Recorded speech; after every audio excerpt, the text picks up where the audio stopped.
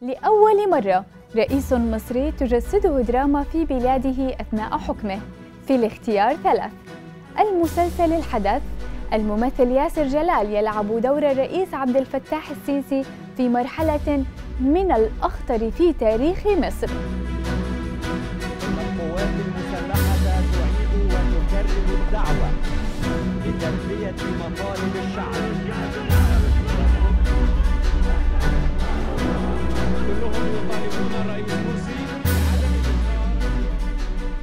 الجزء الجديد يجسد شخصية الرئيس المصري عبد الفتاح السيسي خلال توليه وزارة الدفاع في فترة حكم الإخوان لمصر.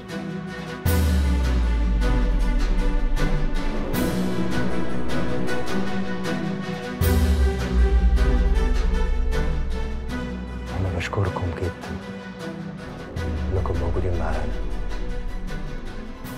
العمل بطولة عدة نجوم مثل كريم عبد العزيز وأحمد السقا وأحمد عز وبمشاركة عدة ممثلين من جنسيات عربية مختلفة.